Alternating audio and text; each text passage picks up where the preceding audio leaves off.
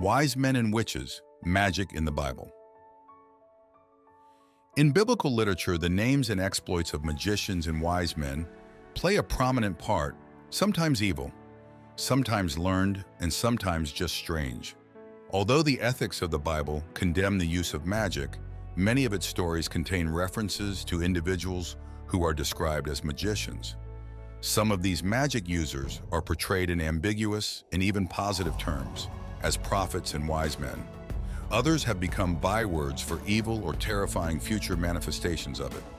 It seems the biblical viewpoint on magic is more complex and interesting than many might assume. Magical customs, medical practices. The ethical code of the Old Testament condemns witchcraft, and yet there are many magical practices described throughout the Bible. For example, the Old Testament prophet Ezekiel condemned women who sewed magic charms on their clothing, and kings who tried to read the future by shaking arrows and examining liver.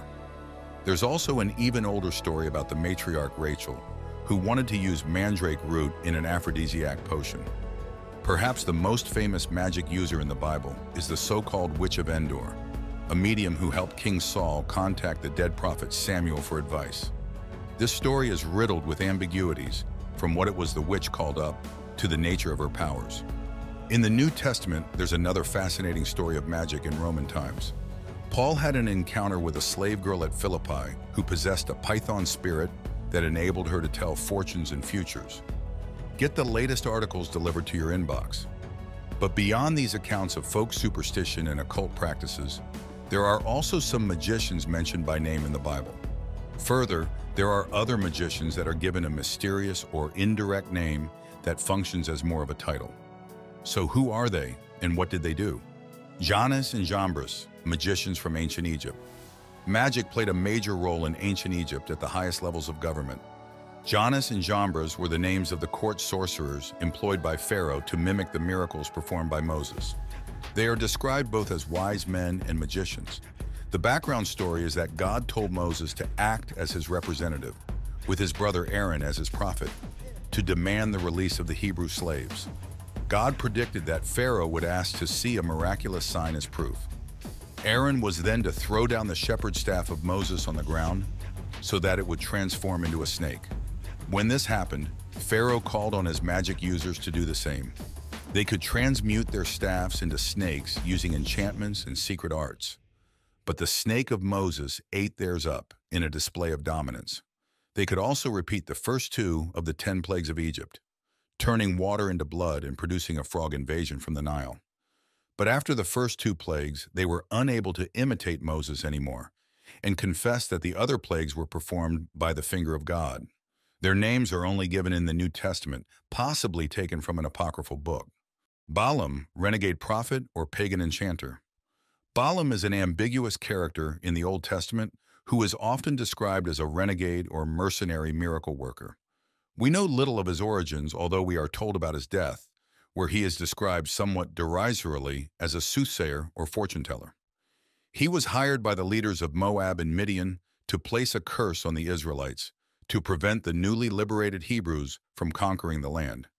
But he was forced to pronounce a blessing instead, multiple times. He is also noted for his involvement in the only occasion in which the Bible speaks of a talking animal. The reason for the ambiguity about Balaam is the mixed messages in the text about what exactly Balaam was and the status of his magical work. Some count him as a prophet rather than a magician, albeit a false prophet in the end. For example, Peter describes him as a mad mercenary prophet. But there are clear indicators in the story that he was a sorcerer. The money paid to him is called the fees of divination. After his failure to curse Israel, Balaam admits that he could cast no spell or enchantment against them. In his final attempt at cursing, he did not resort to sorcery as on previous occasions. All New Testament references to Balaam are strongly negative. The Quran continues the Old Testament's more nuanced perspective on Balaam's prophethood. Daniel and Manasseh, magicians of Jewish royalty. The prophet Daniel was a member of the royal family in Judah who was taken captive as a young man by the Babylonian god emperor Nebuchadnezzar II. Daniel was educated in Babylon in the language, literature, and science of his day to prepare him for state service. Some might consider it unfair to place the righteous prophet Daniel in this list of magic users. But it is interesting that from the perspective of King Nebuchadnezzar, Daniel, whom he called Belteshazzar, was one of a number of the magicians, the astrologers, the Chaldeans, and the soothsayers that he called to interpret his dreams. In fact, not only was Daniel a member of a governmental department, Nebuchadnezzar made him the head of this branch of royal advisors. As chief magician, Daniel didn't perform magic feats, unless you count shutting the mouths of lions, an act Daniel ascribed to an angel not to his own powers. Rather, Daniel's specialty was interpreting dreams, solving riddles, and explaining enigmas. An example of this is when he interpreted the famous writing on the wall during Belshazzar's feast. The character of King Manasseh of Judah contrasts starkly with that of Daniel. He was the worst monarch that the southern kingdom of Judea ever had. Not only was he an idolater and devil worshipper, and sacrificed his own children by burning them alive, he also practiced soothsaying, used witchcraft and sorcery, and consulted mediums and spiritists. After he was taken captive by the king of Assyria, he repented and was delivered. The Magi, wise men from the east. The Magi are the famous three wise men of Christmas nativity fame. Only they didn't come to Christ's birth, there is no evidence they were kings, and there probably weren't three of them. In the New Testament, they are described as Magi, which can mean Oriental astronomer or scientist, as well as sorcerer, magician, or wizard. Or it could mean simply a wise man in the sense of a scholar, teacher, or even physician. The astrological interpretation might be more accurate here, since they were led by a star. The actual Greek word is magos, the plural of which is magoi or magi. The word appears to be Persian in origin and refers to the religious or priestly caste into which Zoroaster was born, founder of the Zoroastrian religion. It seems to be the case that this priestly caste paid particular attention to the stars in their training and rituals. Apparently, they gained an international reputation for astrology, which was at that time highly regarded as a science, and, along with the Babylonians, laid the foundation for modern astronomy. Simon and Elymas, New Testament sorcerers. During the period that marked the birth of the Christian church, the people of Samaria were under the spell of a sorcerer called Simon.